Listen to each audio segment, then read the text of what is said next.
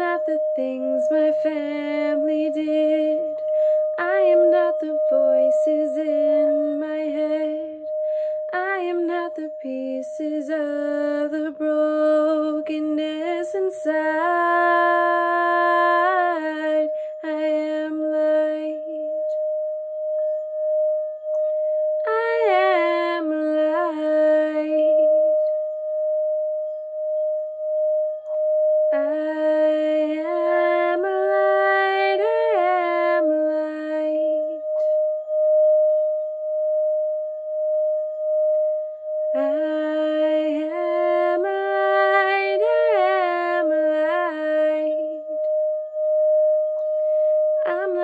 mistakes that I have made or any of the things that caused